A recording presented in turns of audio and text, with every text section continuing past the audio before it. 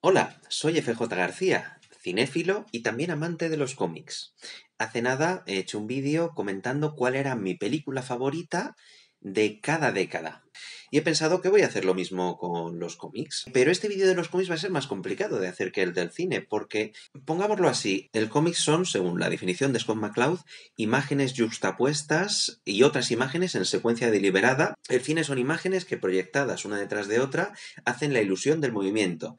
Y eso quiere decir que no solamente las películas son cine. En su definición más amplia, el último vídeo que has grabado tú con el móvil también es cine. Este vídeo de mierda también es cine. Los anuncios son cine. El telediario es cine. Pero sería muy extraño que en mi vídeo sobre mis películas favoritas de cada década hubiera dicho que mi película favorita de la década de los 90 fuera una edición del informe semanal, por ejemplo aunque si realmente lo pensara y fuera un capítulo de informe semanal extraordinario, pero sería extraño, ¿no? En el cómic, al contrario que en el cine, no hay un consenso sobre el formato principal del cómic. Esto se ve muy claro en los premios Eisner. Los premios Eisner son el equivalente a los Oscar, pero en cómic. Eh, y en los Oscar hay un Oscar a mejor película, pero en los Eisner no hay un Eisner a mejor cómic. En su lugar tienen el premio Eisner a mejor cómic en grapa autoinclusivo, a mejor historia corta, a mejor serie continuada, mejor serie limitada, mejor arco argumental, mejor serie nueva, mejor webcómic. Lo más parecido a una película o a una novela en el cómic es la novela gráfica un cómic que se publica en un, librito, que puede ser de cualquier tamaño, y es autoconclusivo y no requiere de segundas partes y no es serializado. Pero ahí estamos ignorando eh, muchísimas obras maestras que han salido en otros formatos. Por ejemplo, cuando lleguemos a la década de los años 60, podría decir perfectamente que mi cómic favorita de esa época son las tiras cómicas de Mafalda. Y no me podríais decir que no, porque son un icono del cómic, son una maravilla, son fantásticas. Y otro problema para escoger el mejor cómic de cada década es que el cómic es un medio muy serializado. Entonces puede haber empezado el cómic en la década tal y haber terminado varias décadas después. Y dirías, vale, eso solamente pasa en los cómics de superhéroes o en los manga, pero ni siquiera, porque Mouse, sin ir más lejos, no siempre se ha publicado en formato de novela gráfica. Empezó a publicarse serializado. El primer capítulo salió en una revista a principios de los años 80. Luego se publicó la primera mitad del cómic en 1986 y la segunda mitad en 1991 y hasta 1996 no salió el cómic mm, recopilado, digamos, en este formato de novela gráfica unitario, que a partir de entonces es como se ha publicado siempre, ¿no? Pero claro, es un cómic de los 80, que fue la década en la que más páginas se publicaron de él, o debería considerarlo un cómic de los 90 porque las mejores páginas se han publicado en los 90. Porque mi parte favorita es esta, que está eh, cerca del final del, del tomo y que yo creo que se dibujó y publicó en los 90. Si fuera uno de mis cómics favoritos, ¿qué hago? ¿Lo escojo para los 90 o lo escojo para los 80? Las reglas que voy a poner en esta lista es que no hay reglas, vale cualquier cosa. No solamente va a ser una lista muy personal, sino que además puedo escoger lo que me dé la gana para cualquier época. Bueno, y después de esta larguísima introducción, vamos allá, vamos a los años 2020. Han salido cómics interesantes como pues Piel de Hombre, ha salido Contrapaso, que es un cómic de la española Teresa Valero, en formato comic book recientemente, me ha gustado muchísimo, una temporada de 10 numeritos de Wonder Woman, pero mi cómic favorito de los 2020 ha sido El secreto de la fuerza sobrehumana. Es un cómic autobiográfico. Alison Bechdel, en el momento de escribir y publicar este cómic, tiene 60 años y lo que hace es contar toda su vida. Me gusta porque se parece un poquito a estos vídeos que estoy haciendo ahora, porque como ha vivido 60 décadas, el cómic lo separa por décadas. Eh, primero con los 60, que es cuando tenía 0 años, luego los 80, luego los 90 y así hasta llegar a la actualidad se llama El secreto de la fuerza sobrehumana porque a ella le gusta mucho el deporte. En esto esta señora me recuerda a mi padre porque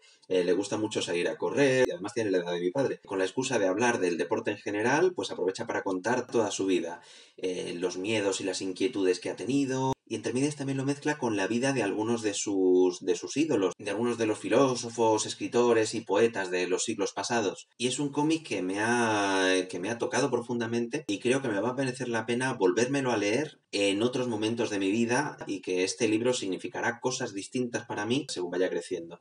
En la década pasada, los 2010, también ha habido novelas gráficas muy interesantes, como lo que más me gusta son los monstruos. En 2012 empezó a publicarse Saga, es muy popular y es una maravilla. Me gusta muchísimo, no lo escojo como mi favorito porque creo que peca mucho de lo mismo que Juego de Tronos, de mostrar personajes que están súper bien escritos y que adoras y cargárselos. Eh, pero está genial y los dibujos de Fiona Staples están también muy bien. Otro cómic muy bueno de Brian K. de esta época es Paper Girls. Otros cómics que me han gustado son eh, Sword Quest, que es una miniserie de cinco numeritos sobre el videojuego de Atari. Pero es una década donde ha triunfado mucho Marvel, porque ha habido una sinergia muy grande entre, entre las películas y el cómic. Se estrenó Los Vengadores en 2012 y durante esta época pues ha habido mucha gente que se ha aficionado o reaficionado a los cómics en grapa. Yo mismo, sin ir más lejos. Vi un youtuber que dijo que esta década la considera como la era brillante de los superhéroes porque es una época donde los cómics son más coloridos que antes y donde se hace especial hincapié en la inclusión y en hacer historias, digamos, originales, que yo creo que están pensadas o estaban pensadas cuando salieron,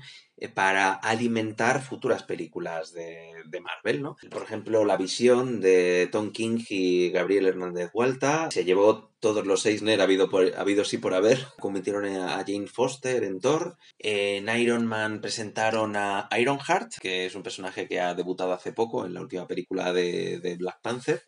Uno de mis cómics favoritos de esta época es esta grapilla autoconclusiva que se llama Marvel Comics 1000, que salió en 2019, que este como El secreto de la fuerza sobrehumana también se parece mucho a, estos vídeos porque son 80 páginas y cada página representa un año distinto. La página 1 es 1939 y hasta llegar a la página número 80 que representa el 2019. Y me encanta.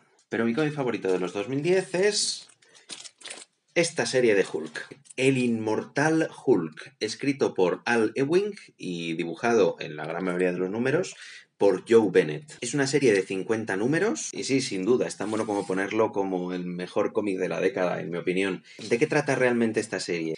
Es un monstruo tan terrible y tan terrorífico que no se puede morir, jamás. Entonces esta serie no es tanto una serie de superhéroes como una serie de terror. Sobre todo en los primeros números, Hulk no es el personaje principal, el protagonista es otra persona cada vez o una serie de personas que se encuentran con él. Mira, mira este que después de 15 páginas siendo una persona malvada se da la vuelta y se encuentra con una doble splash page con Hulk ahí amenazándole.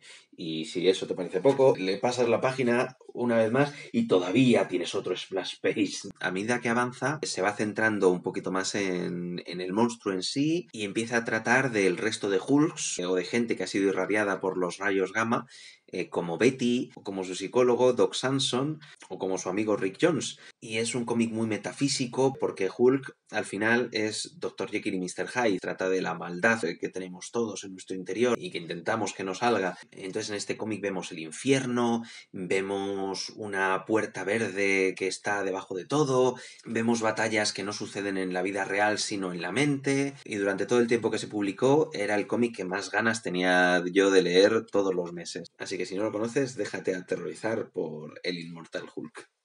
Los 2000 los 2000 estuvieron marcados por los avances digitales. Básicamente el Photoshop hizo que se pudieran hacer virguerías con el color que no se podían hacer en décadas anteriores. Y hay por supuesto cómics muy buenos de esta época. Prometea, que es un cómic que empieza en plan de superhéroes, pero enseguida se convierte en un cómic didáctico sobre la magia, la cábala, el árbol de la vida y la naturaleza de la narrativa en sí. En los cómics Marvel tenemos el arco argumental de Spider-Man de vuelta a casa.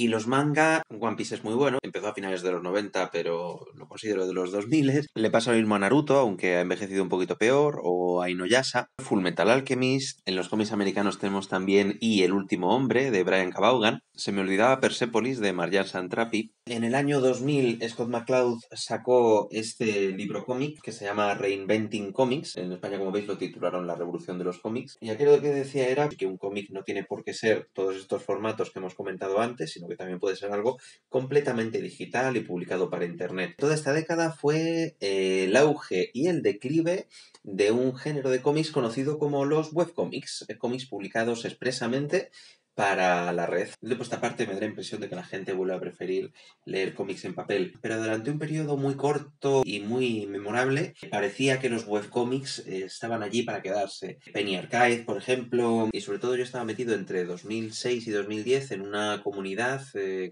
llamada Web, que era los webcomics en español. Fue una época muy bonita para mí. Los cómics de esa comunidad son mis cómics favoritos de esa época. Tío, Leye y sobre todo Dragon Mail, que de hecho tengo una copia física, pero la tengo en casa de mis padres. Ese es mi cómic favorito de esta década. Trata de un elfo muy patoso que cae del cielo y lo único que dice es que quiere entregar una carta al rey de Rimbombantia. Y poquito a poquito vamos averiguando su pasado, se va metiendo en una serie de aventuras, conoce a Voltrin, el enano. Son las aventuras que le están pasando a este elfo y este enano mientras que se va desgranando las intrigas políticas que están sucediendo en este mundo mágico. Como muchos otros webcomics se ha quedado en hiatus, está parado desde hace años y ha acabado en un continuará. Fadri, eh, por favor, vete a un retiro espiritual o lo que sea, pero termina la historia, porque está claro que tienes un final en mente. Es literalmente un cómic gratuito que podéis ir a leer buscando Dragon Mail en vuestro buscador y en el móvil. Y por supuesto la existencia de este y muchos otros webcomics me inspiró a hacer mi propio webcomic en esta época.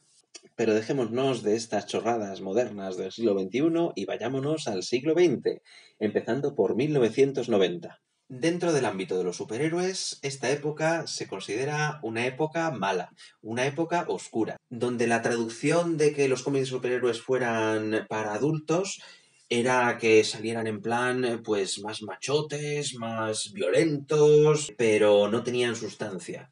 Una época en la que se aplicaron mal las enseñanzas aprendidas durante los fabulosos años 80 que veremos después. También fue la época de la especulación, eh, la gente empezó a vender sus cómics antiguos y les daba mucha pasta. Y entonces muchos cómics americanos empezaron a salir eh, con la idea de que fueran cómics especiales y que la gente los comprara pensando que eran tan únicos que si te quedabas con él unos cuantos años, luego lo podrías revender y te ganarías muchísimo dinero. Y eso por supuesto es una falacia, porque si han salido muchas copias del mismo cómic, mucha gente tiene ese cómic, por lo tanto no tiene mucho valor económico. Este plan en el que estaba la industria realmente le hirió de una manera que llega en el colectivo común hasta nuestros días. Cuando le digo a la gente que colecciono cómics, me dice, ah, genial, es porque los vas a revender y vas a ganar mucho dinero con ello. No funciona así, yo me los compro para poder leérmelos y para poder disfrutarlos y para poder tenerlos. Es como si alguien dice, pues estoy coleccionando VHS y me voy a hacer de oro. Pues no funciona así. Y claro, si la industria hace foco en el coleccionismo, no va a hacer foco en que las historias en sí sean especialmente buenas. Fue la época en la que nació la compañía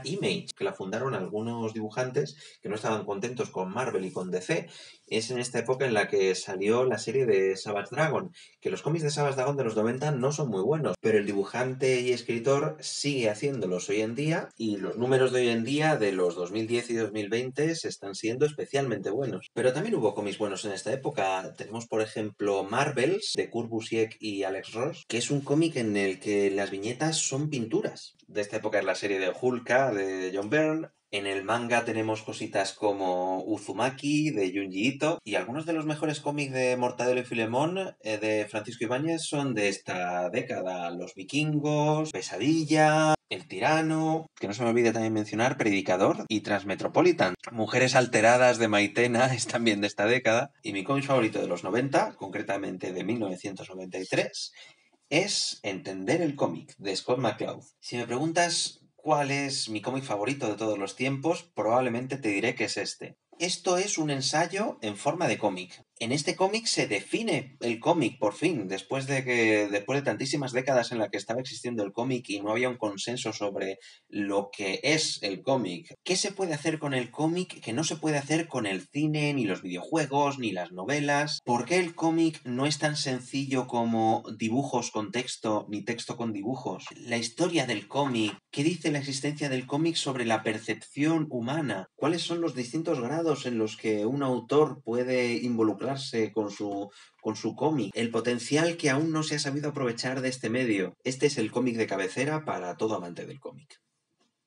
No es de extrañar que Entender el cómic se publicara en 1993, porque hacía muy poquito que se había acabado la década de los 80, y la década de los 1980s fue la época de mayor esplendor artístico del cómic, o por lo menos de mayor revolución narrativa, digamos, del cómic.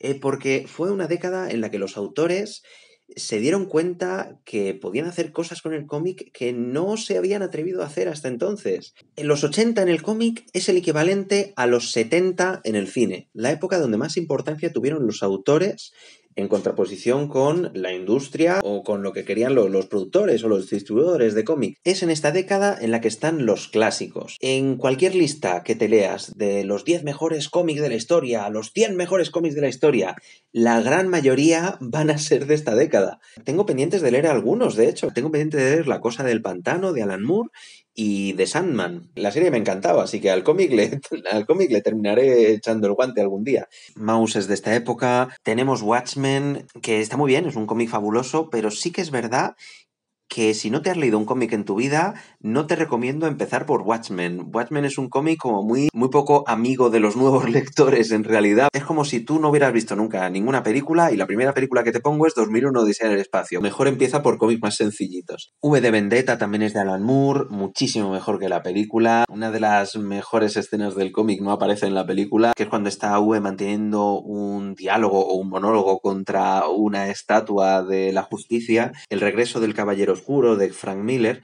a mí personalmente no es uno de mis cómics favoritos, pero entiendo su importancia. Dentro del cómic europeo está El Incal de Alejandro Jodorowsky y Moebius. Échale un vistazo al vídeo que hice sobre, sobre este cómic de mi serie de las grapas de FJ. Tenemos Torgal, eh, se creó en los 70 y hoy en día se sigue publicando, pero los mejores números de Torgal eh, se publicaron en los 80. Y esta colección integral que ha salido hace poco, los mejores números son el 3 y el 4 y es una maravilla del cómic que no sé cómo es que no lo conocía yo antes, pero esta edición es brutal. Dentro del cómic español tenemos a Goomer. Dentro de los superhéroes tenemos eh, a los Cuatro Fantásticos de John Byrne, mi época favorita de los Cuatro Fantásticos, y no puedo decir suficientes cosas buenas sobre ella. En Spider-Man se publicó La última cacería de Kraven, que es un arco argumental de seis numeritos, muy lírico, muy duro, maravilloso. En el manga de esta época es Akira, de Katsuhiro Otomo. Rama y medio, de Rumiko Takahashi. Osamu Tezuka publicó Adolf en cinco volúmenes.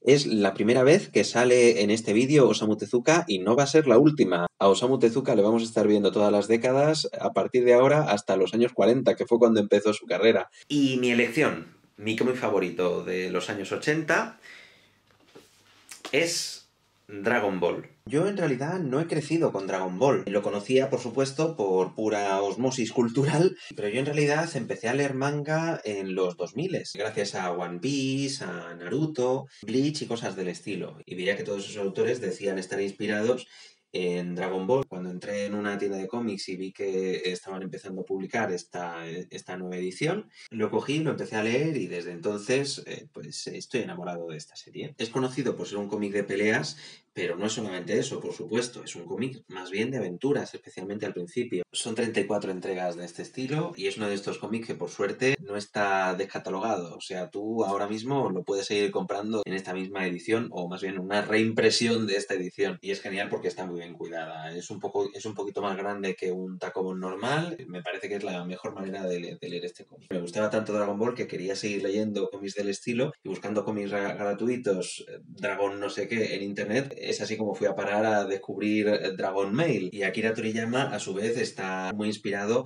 en la obra de Osamu Tezuka, que después se convirtió en otro de mis autores favoritos. Así que, como veis, en el cómic está todo conectado. O sea, empiezas a leer una cosa, eso te lleva a otra. ¿Cuál ha sido tu viaje dentro del cómic? Leer cómics, como veis, es una aventura. Ok, pues vámonos a los, a los 70. Ahora que llegamos a los años 70, vamos a hablar un poquito de las épocas del cómic de superhéroes. De 1985 a la actualidad es la era moderna. Como digo, fue cuando se dieron cuenta que podían hacer cosas que no estaban haciendo antes.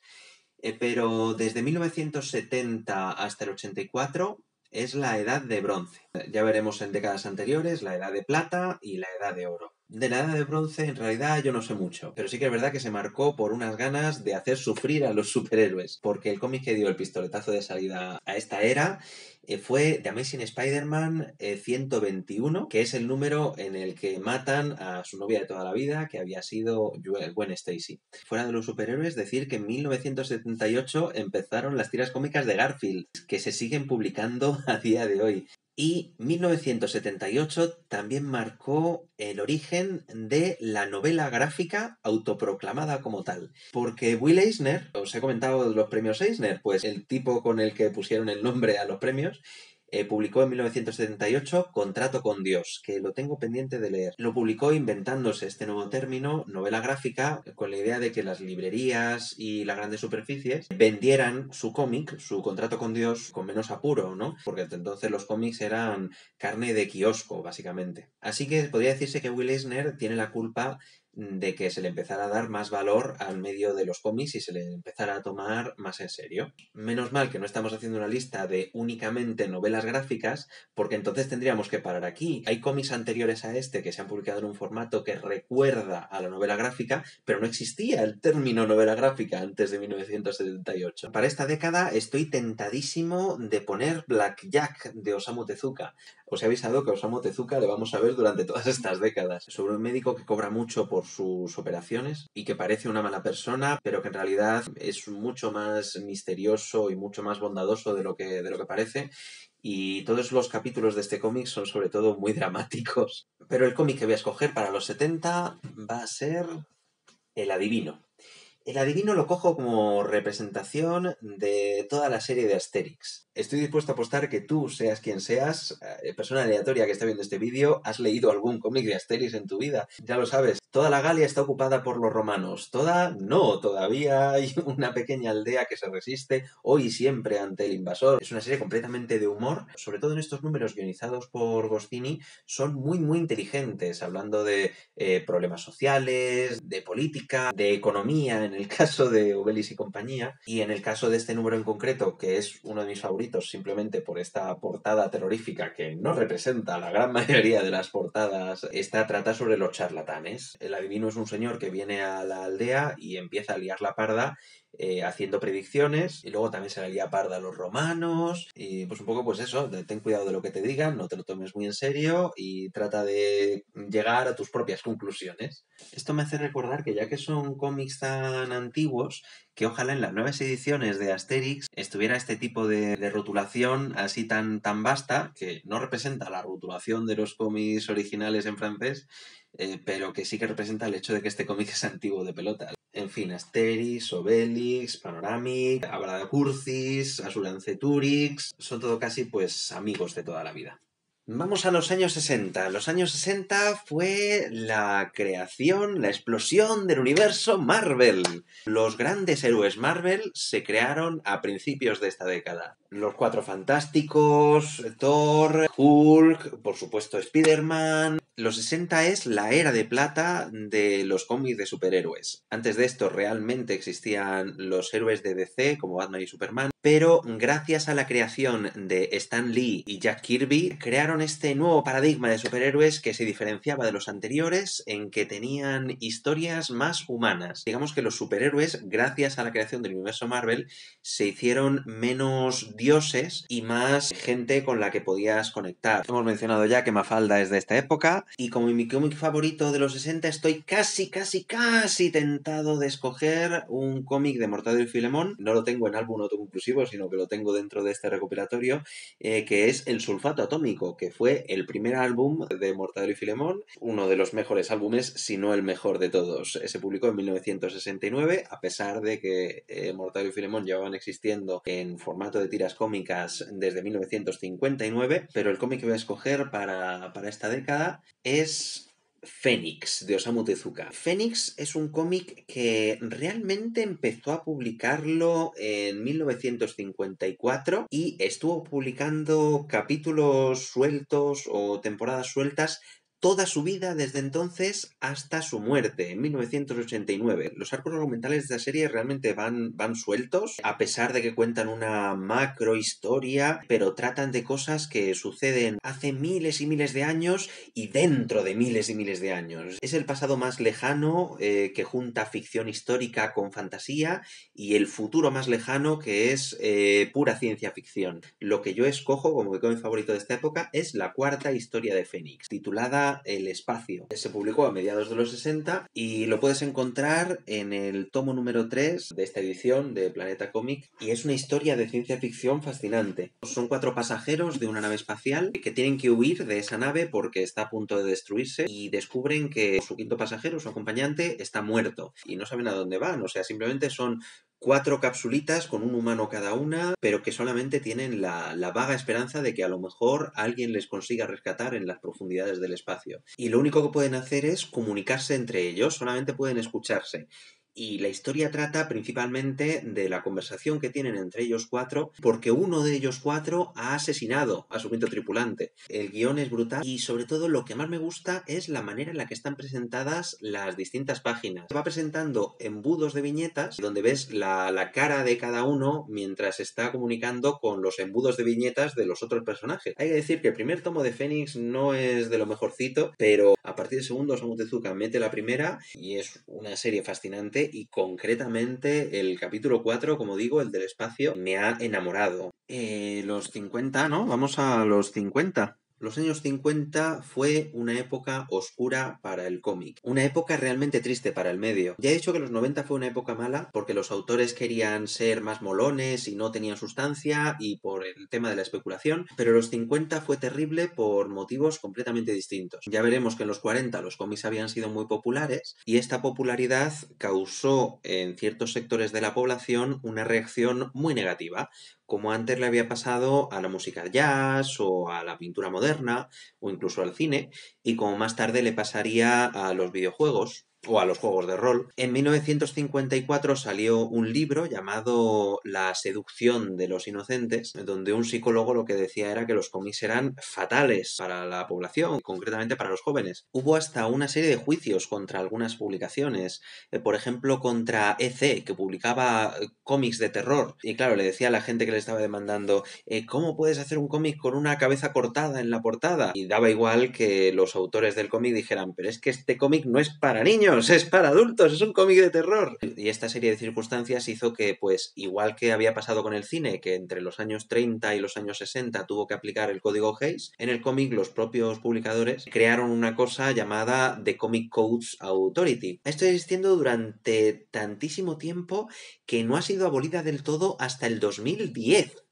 Sí que es verdad que para aquel entonces ya muchas publicaciones no le hacían ni caso. Hasta Stan Lee había publicado en los 70 algunos cómics sin el sello del Comic Authority diciendo que esos cómics en concreto trataban sobre drogas. Decía que de hecho era importante para la juventud explicarles por qué las drogas eran malas y el código Hayes no le permitía, no le permitía decir que las drogas eran malas porque estaba mencionando las drogas. En fin, entonces eso, el, universo Marvel todavía no existía, lo que luego se convirtió en Marvel, que era la compañía Atlas, y se dedicaba a crear eh, cómics de monstruos gigantes y DC seguía publicando discretamente cómics de Batman, de Superman y de Wonder Woman. Decir que en 1950 nació la tira cómica de Carlitos y Snoopy. Charles M. Schultz eh, estuvo publicando tiras nuevas de, de Snoopy toda su vida, hasta el año 2000, que fue cuando se murió. Y tengo pendiente de leer un cómic argentino de esta época que dicen que es fabuloso, que se llama El Eternauta publicado entre 1957 y 1959. Por lo visto es un cómic de ciencia ficción, pero que habla mucho sobre la política de la época.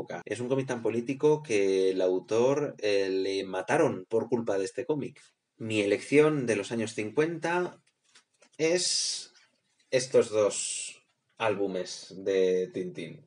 Objetivo a la Luna y Aterrizaje en la Luna. Al igual que con el otro que he cogido de Asterix, estos dos son la representación de la serie entera de, Tintín. Eh, Tintín estuvo publicándose en varios formatos desde 1929. Estos dos álbumes se serializaron entre 1950 y 1954. ¿Y qué te voy a decir? Es Tintín yendo a la luna. En cada álbum va a un sitio distinto, va a la India, va a China, va al Tíbet. En estos dos, pues va a la luna. Recordemos que el ser humano llegó a la luna de 1900 68, muchísimos años después de que se publicara este cómic. Y el autor lo que hacía era documentarse mucho, siempre, de todos los lugares a los que iba el periodista. Entonces, a pesar de que es una historia de ficción, tiene mucha credibilidad y mucho realismo dentro de que es una historia de ciencia ficción. El diseño del cohete es completamente icónico y es un viaje terrorífico también. Eh, ir a la luna es muy complicado. No vuelven a la Tierra todos los personajes. En el primero nos centramos más en la tecnología que va a utilizar el profesor Tornasol para poder llevarle a la luna y por supuesto este otro es cuando por fin pues eh, despega el cohete. En fin, una, una obra maestra del van de cine. Ok, ok, ok. Eh, ¿Qué es lo que pone mi guion ahora? Vale, vamos a los años 40. Si bien los años 80 fueron la época de mayor éxito artístico de los cómics, los años 40 fue la época de mayor éxito comercial. Esto es lo que se considera la edad de oro de los cómics, no tanto por su contenido, sino por su éxito. Estamos en plena Segunda Guerra Mundial y la gente compra cómics, se distribuyen cómics por doquier. Eh, sobre todo gracias al esfuerzo propagandístico. O sea, los cómics realmente servían para, para, impulsar a las tropas y para que lucharan contra el enemigo. No en vano es la época en la que se creó al Capitán América. Es propaganda pura. Está golpeando a Hitler en la cara. Los superhéroes y los comic book habían nacido en los años 30, ahora luego lo veremos, pero en los 40 fue realmente... Los cómics en los 40 hay que entender que se imprimían como churros. Ni siquiera en los 90 con toda la especulación y con todo el voy a comprar mogollón de cómics para luego revenderlos. Ni siquiera entonces se ha vendido tanto como en los 40. Luego sí que es verdad que el papel era un medio que escaseaba, Así que los cómics también se reciclaban un montón. Directamente se utilizaban para ponerlo por dentro de las casas, se reciclaba para utilizarlo como papel higiénico, se reciclaba para convertirlo en periódicos. Pero claro, antes de reciclarse, pues lo dicho, era un cómic detrás de otro y la gente iba a comprarlos y los niños y los soldados. Y todo el mundo estaba leyendo cómics no solamente de superhéroes, también de amor, también de terror. Es muy deprimente pensarlo, pero es cierto, la mayor época de esplendor comercial de los cómics es de hace tantísimo tiempo, de los años 40. Los que más lo petaron, por supuesto, eran Batman y Superman, y curiosamente hubo un año en el que el mayor éxito de superventas fue el Capitán Marvel, que hoy en día lo conocemos como Shazam, que por fin se hizo una película de Shazam hace relativamente poco. Shazam es un superhéroe muy antiguo y que reflejaba muy bien las inquietudes de los niños que leían cómics en esa época. Además, esta época es el origen del formato de álbum europeo. Este tipo de formato se creó durante la Segunda Guerra Mundial. El motivo es que era un formato eh, muy restrictivo a la hora de gastar papel. Son siempre o 44 o 62 páginas. Tengo yo uno de los que debió ser uno de los primeros álbumes europeos. Esto, esto no es un álbum europeo, como ves son más de 44 páginas, pero tiene un álbum europeo dentro. Concretamente Kuto, el pájaro azul. Eh, esta edición me da mucha rabia porque no reproduce la, portada original. El álbum europeo que hay aquí dentro, El pájaro azul, eh, una aventura de Kuto, eh, creo que es de 1941 y es muy malo, no me gusta nada. Es un álbum muy extraño porque se publicó de manera unitaria, pero si tú te lo lees, eh, parece que está pensado para publicarse en un periódico eh, semana tras semana. Bastante malillo, pero tiene gracia ver un álbum de hace tantísimo tiempo, ¿no? Y es la época del origen del manga. Bueno, el manga existía antes, de hecho lo veremos, pero justo en la posguerra, justo después de la Segunda Guerra Mundial, es cuando nació el manga como industria, ¿vale? El cómic japonés como, como, industria y como manga como conocemos hoy en día. Uno de los primeros mangas es La Nueva Isla del Tesoro de 1948. Eh, Habéis averiguado de quién es, ¿verdad? Osamu Tezuka, sí, otra vez él. Aparte de tener una carrera muy prolífica que como hemos visto llega hasta los 80, se le acredita como ser el dios del manga o el padre del manga o el inventor del manga, por lo menos como, como un formato de este como formato de este tipo, ¿no? Este regulero, personalmente, eh, mi cómic favorito suyo de esta época es Lost World, El Mundo Perdido, de 1948. He estado tentadísimo de ponerlo como mi cómic favorito de esta década, pero si queréis saber más de este cómic, miraros mi vídeo de los mundos perdidos. ¿Qué más? Eh, Sazae-san es de esta época, es un cómic eh, que se publicó en Japón del 46 al 73, pero que la adaptación animada todavía la siguen echando hoy en día en Japón, como los Simpson, que no se acaba, no se acaba nunca. Y es notable por ser uno de los primeros mangas dibujados por una mujer. Mi cómic favorito de los años 40 yo creo que es Spirit. Spirit está escrito y dibujado por Will Eisner. Tenía que haber en esta lista algo de Will Eisner. Spirit es un cómic de, género cine negro, por ponerlo así, cómic negro. El cómic negro suena a otra cosa. Pero sí, policiaco, suspense, eh, de vez en cuando mete algunos detallitos de ciencia ficción o de fantasía. Y el protagonista de Spirit es un héroe eh, no es un superhéroe, es simplemente un policía, que, un vigilante que le da por ponerse un antifaz. Lo que me gusta mucho de Spirit es el ambiente que tiene, ahí tan sucio, cómo gasta la tinta negra a tope, a pesar de que el cómic originalmente es a color. Y para ser un cómic tan antiguo, tiene unos diseños de, de página, una maquetación de página muy original y muy moderno.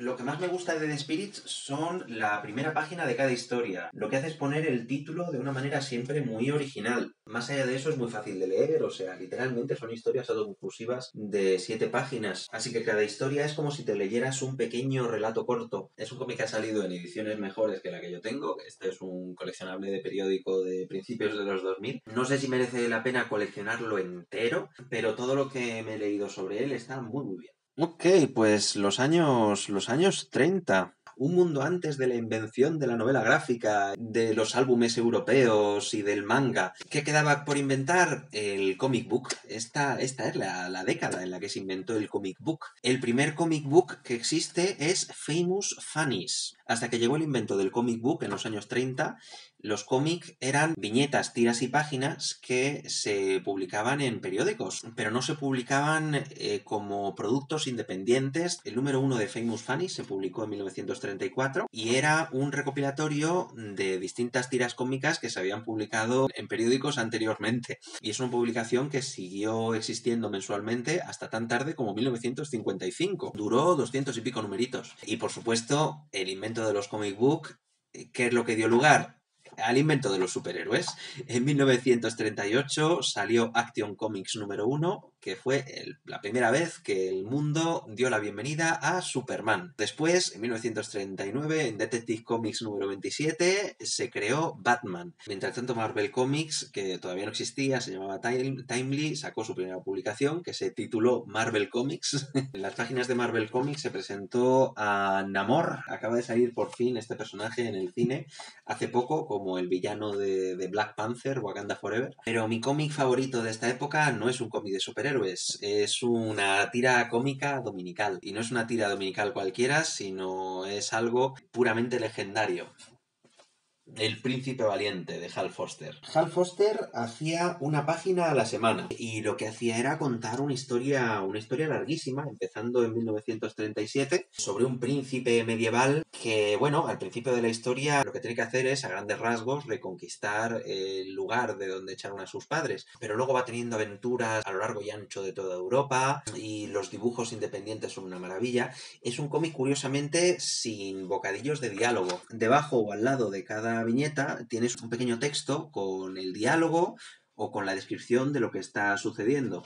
Eh, por eso ha habido gente que ha considerado que El Príncipe Valiente realmente es una novela ilustrada. El texto no funcionaría sin los dibujos y viceversa. Por lo tanto, es un cómic pensado para leerse como arte secuencial, como cómic. Lleva publicándose desde el 37 hasta nuestros días. El Príncipe Valiente sigue vivo desde entonces. El autor dejó de dibujarlo en los años 70, pero se lo legó a otro grupo de artistas y ese grupo de artistas luego cuando se cansó de ello a las varias décadas se lo legó a otro y así hasta hoy sigue habiendo Príncipe Valiente. Podríamos, y deberíamos seguramente, parar el vídeo aquí, detenernos aquí y, dejar de, ir para atrás, porque a, partir de aquí, anterior a la creación del formato comic book, eh, es que, claro, no existen los comic book, eh, ya no existen las publicaciones unitarias especializadas en cómic. A partir de aquí, todo son tiras cómicas o páginas o viñetas hechas para periódicos, muchas veces serializadas, pero incluso esa serialización desaparecerá según abandonemos el siglo XX. Otro motivo por el que deberíamos parar es que simplemente ya no estoy familiarizado con, con prácticamente nada de lo que viene a continuación. No he leído prácticamente cómics de antes del Príncipe Valiente, pero aún así vamos a seguir. A partir de ahora, el ejercicio ya no es mirar cuál es mi cómic favorito de cada década, sino intentar encontrar un ejemplo de cómic, por lo menos todas las décadas, una detrás de otra, y a ver hasta dónde somos capaces de llegar. Así que vamos allá, nuestra aventura comienza en la década de los 1920. De hecho, sí que tengo un cómic con páginas publicadas en 1929, que es eh, Las aventuras de Tintín. Son estas paginitas de aquí. Eh, como veis, nada que ver con lo que será el Tintín más adelante. Esta década fue la creación de Popeye, por ejemplo, que la, la protagonista de los cómics donde apareció Popeye no era Popeye, era Olivia. Popeye fue un personaje terciario que apareció más adelante y luego se hizo con la popularidad de la tira. Crazy Cat es esta época, y también el manga de los cuatro inmigrantes, que a pesar del título, por supuesto, no tiene nada que ver con los manga de después de los años 40. En 1910 eh, tenemos las creaciones de Rube Goldberg, y que eso no lo sabía. Yo pensaba que Rube Goldberg, el de las máquinas de Rube Goldberg, eh, pensaba que era un inventor, pero no, era un dibujante de cómic, que lo que hacía eran estos inventos absurdos eh, que recuerdan a los, a los inventos del TVO. En la década de los 1900 tenemos el origen del pequeño Nemo, de Winsor McKay, que a Winsor McKay ya le hemos sacado en el vídeo de las películas por el tema de Gertie, pero es más conocido por sus aportaciones al medio del cómic. El pequeño Nemo, a pesar de ser anterior a ese boom comercial y artístico del cómic, es hoy en día considerado como uno de los cómics más importantes. Son páginas enormes, con unos dibujos completamente preciosistas y detallados, con una imaginación desbordante y con una maquetación y organización de viñetas también muy original. Ya pasando al siglo XIX, en los 1890 tenemos la importante creación de Yellow Kid. Hay quien dice que Yellow Kid es el primer cómic es totalmente mentira, como veremos inmediatamente. Hay un vídeo muy bueno de Patrick H. Williams que trata sobre qué cómic deberías leer si nunca has leído un cómic en tu vida y da muchos consejos sobre cómo entrar en los cómics, te da muchas sugerencias de por dónde empezar. Y una de las cosas que dice es que el cómic es un arte nativo de Estados Unidos. Seguramente en su cabeza tiene al Yellow Kid. Ya veremos después que el cómic no se originó en Estados Unidos para nada, pero sí que es verdad que es una creación importante y es verdad que por culpa de Yellow incluso hoy en día a la prensa sensacional sensacionalista la llamamos la prensa amarilla. En su camiseta tenía mensajes o pensamientos que pues se metían con el famoso de la época, en fin, sensacionalismo puro. Y el decir que el Yellow Kid es el origen del cómic también es sensacionalismo puro. 1880. ¿Habéis oído alguna vez la expresión me cachis? Bueno, pues me cachis era un dibujante de cómic español, un dibujante, un caricaturista, se llamaba Eduardo Sánchez Hermúa y en 1884 comenzó su propia serie titulada La caricatura. En los 1870s, en Canadá, se crearon los brownies, que fueron unas tiras canadienses que me recuerdan un poquito a los mummies por el diseño, que los mummies, por cierto, no son cómics originalmente, son pequeños libros infantiles ilustrados, donde el texto puede ir perfectamente separado de, la imagen. Y por el argumento de sus tiras me recuerda más bien a los borrowers o a los diminutos, porque son seres, son criaturas que salen por la noche entre las maderas de tu casa y empiezan a hacer trastadas. Por lo visto los brownies fueron muy populares durante mucho tiempo y tuvieron mucho merchandising, lo que pasa es que hoy en día pues se nos ha olvidado su existencia. En 1860, pongamos como ejemplo de los miles de cómics que se hacían en la época, a las aventuras de Miss Lavinia Brown en 1850 eh, las experiencias en el mar de Mr. Lim, en 1840 El dolor de muelas y vamos a pararnos en 1830, porque en 1837 eh, un señor llamado Rodolph Toffer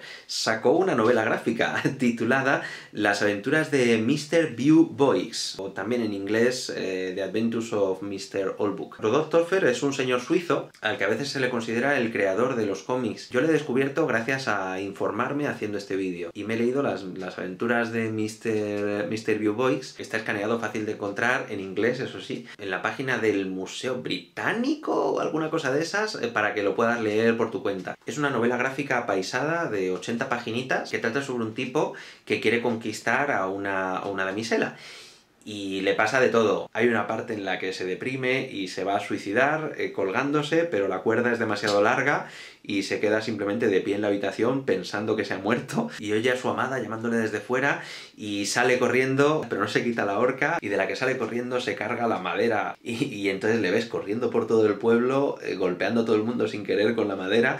O sea, tiene un humor este cómic muy de Looney Tunes. Este tipo, Rodolf Toffer, realmente era consciente de que estaba haciendo algo que normalmente no se hacía. Lo que pasa es que no sabía cómo llamarlo. En el prólogo explicativo de una de las novelas gráficas que sacó, eh, ponía este pequeño libro es de una naturaleza mixta. Se compone de dibujos autografiados al trazo. Cada uno de esos dibujos está acompañado de una o dos líneas de texto.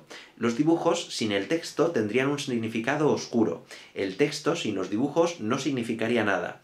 El todo unido forma una suerte de novela tan original que recuerda menos a una novela y más a otra cosa. Rodolfo Toffer en toda su vida hizo nueve novelas gráficas de este estilo y también incluso hizo un ensayo que se llamaba Ensayo sobre Fisionomía, que tiene una parte dedicada a este nuevo arte. Pero por supuesto, antes de sus invenciones se estaban haciendo tiras cómicas en periódicos, ¿no? Veamos en 1820 Historia de una gabardina, History of a Coat que es curiosamente uno de los primeros cómics que tiene al final esta cosa que nos resulta tan familiares a los lectores de cómics, que es to be continued, continuará. Creo que era una broma y que no existe una segunda parte de esta idea cómica, pero llama la atención que hubiera un continuará mm, hace tantísimo, tantísimo tiempo. En 1810 pongamos esta tira, Gent, No Gent and Regent. En 1800 tenemos Democracia o Escenas en la vida de Napoleón Bonaparte. Ya en el siglo XVIII, en 1790, pongamos este este crudo ejemplo de eh, comentario político llamado traición. Y en 1780 sucede algo muy importante que es que se inventa la litografía. La litografía es un proceso que permite la reproducción y difusión en masa de ilustraciones. Antes también se podía hacer, pero era mucho más complicado y requería muchos pasos intermedios. Si bien la imprenta es de mucho antes, eh, hasta que no se inventó la litografía no fue tan fácil eh, imprimir, digamos, las tiras cómicas en la prensa. De este año pongamos Los amores del zorro y el tejón que nos hace ver que ya hace tantísimo tiempo existían las historias sobre animales antropomorfizados.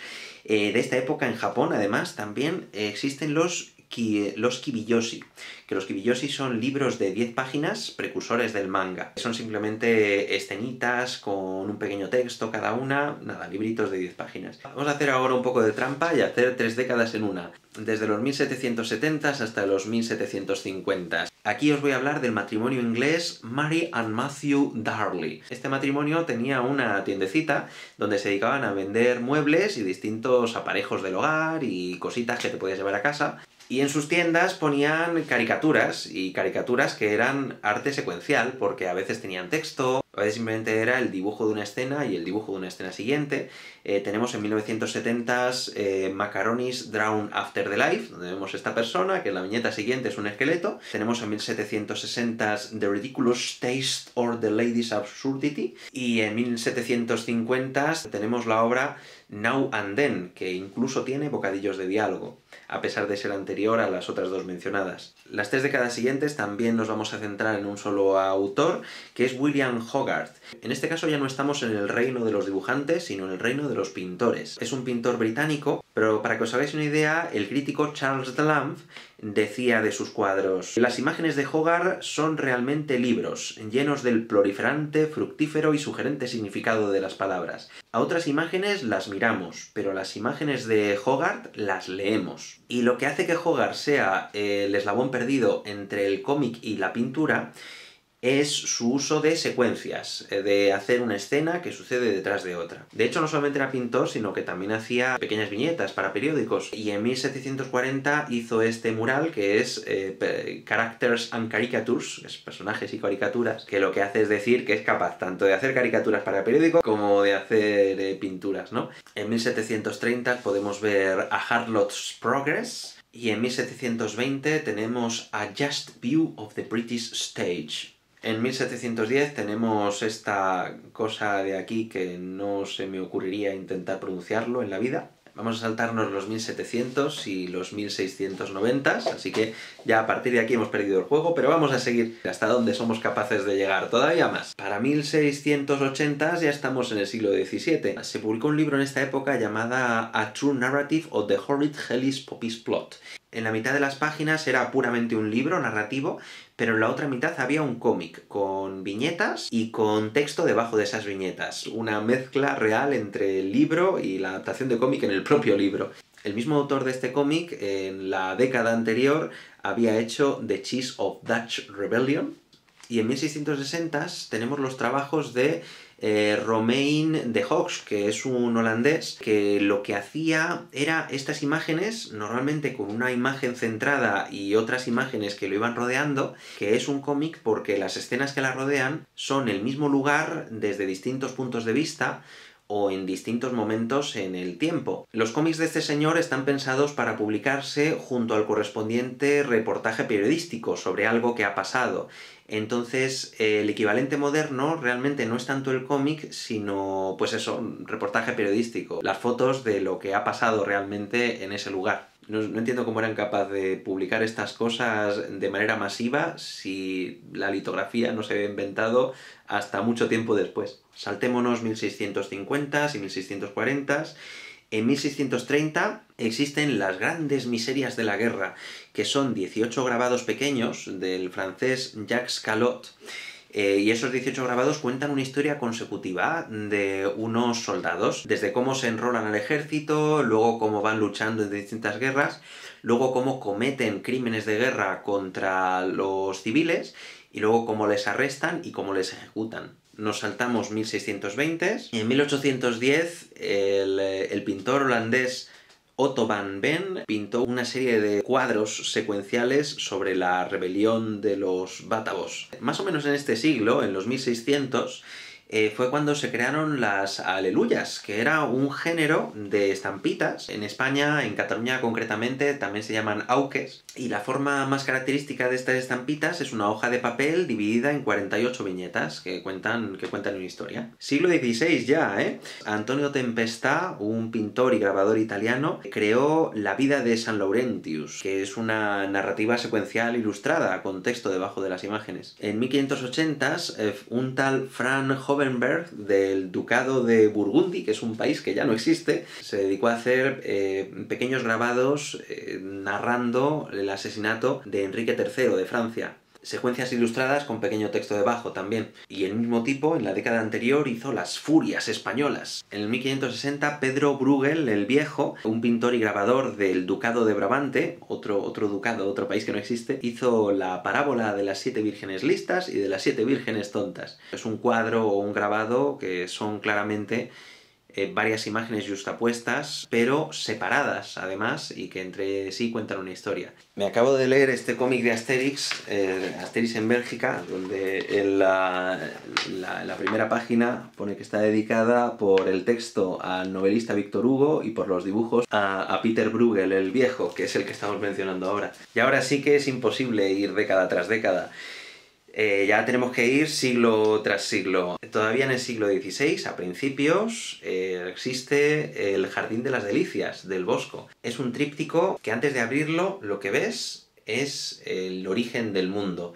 Lo abres y son tres escenas o tres viñetas secuenciales. En la parte de la izquierda ves a Dios que acaba de crear al ser humano y que le está diciendo que no la líe. En la viñeta central vemos cómo el ser humano la lía y como consecuencia de su lujuria y su maldad nos vamos a la última viñeta donde les mandan a todos al infierno. Y luego si vuelves a cerrar el tríptico, otra vez eh, el origen del universo haciendo que la narrativa sea algo circular. O sea, es un esquema de historia súper clara. No hagas eso. El protagonista hace eso, las consecuencias de lo que ha hecho, sin más. En el siglo XV, en Europa, se inventó o se popularizó, gracias a Gutenberg, la, la, imprenta. A partir de entonces ya los libros no tenían que copiarse de manera totalmente manual por los monjes y ya se podían imprimir libros y difundirse de manera más, más fácil y más masiva. Y ya ni te cuento que eso dio lugar al origen de la prensa escrita y por lo tanto seguramente a un montón de cómics que no han llegado a nuestros días. La imprenta, por lo menos en Europa, se inventó alrededor de 1446,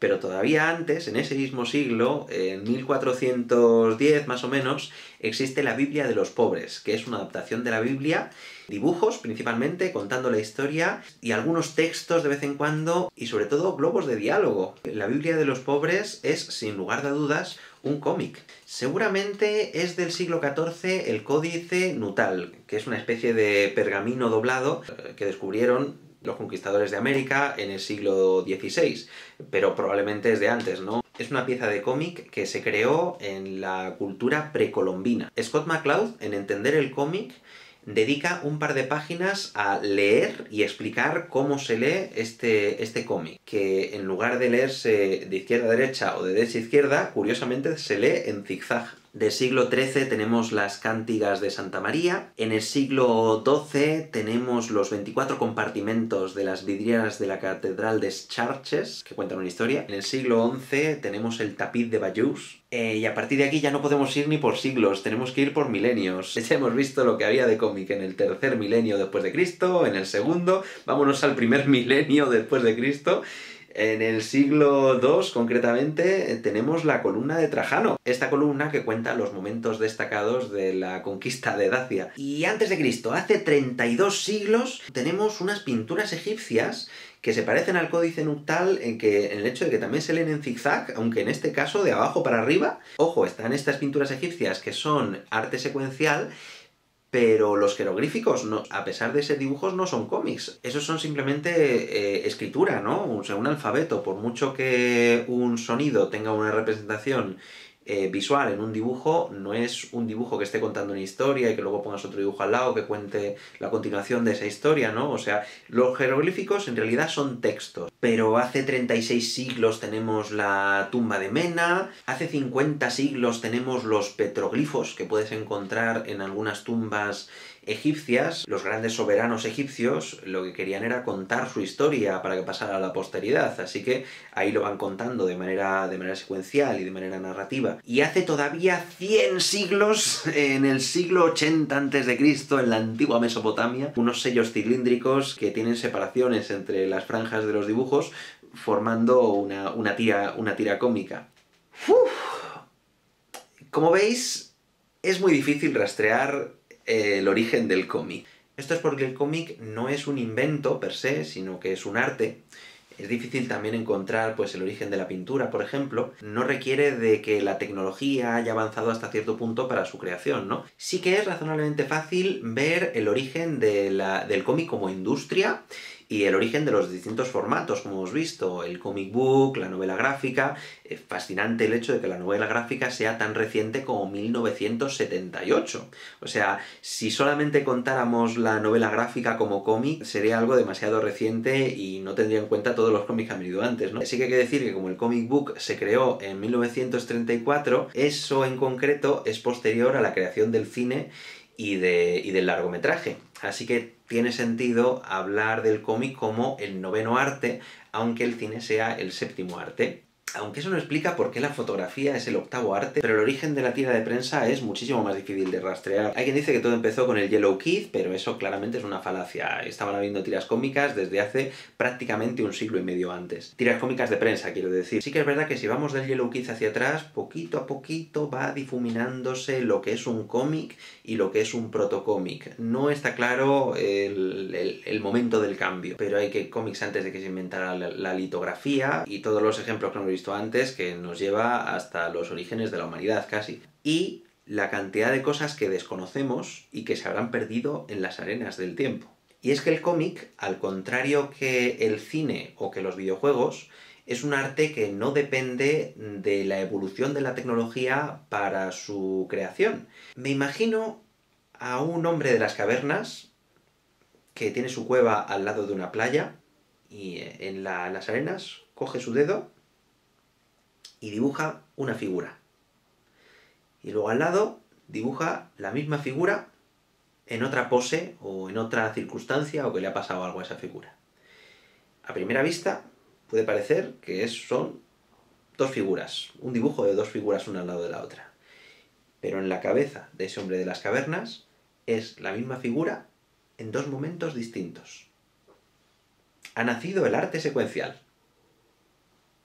Muchísimas gracias por escucharme y recordad, seguid leyendo cómics.